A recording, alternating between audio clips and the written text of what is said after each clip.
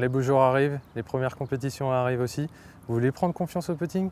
Eh bien, Je vais vous montrer un exercice assez simple. Alors pour prendre confiance, je vois trop de personnes, des amateurs qui font des longs putts à 12, 5 mètres. C'est bien pour prendre la roule, mais si vous voulez prendre confiance, passez plus de temps sur les petits putts. Un petit putter, 70 cm, 60 cm, et entendez cette balle tomber dans le trou.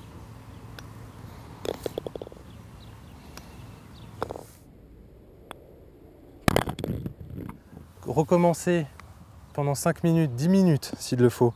Mais prenez confiance, c'est vraiment, il y a beaucoup de pros qui font ça avant de partir sur le parcours. Ça leur permet de partir libérés. Pour prendre confiance, n'oubliez pas, un petit putt de 70 cm, un petit putter, en montée, tout droit, ne cherchez pas l'exploit, faites rentrer les putts et je vous garantis, sur le parcours, vous allez gagner minimum un point.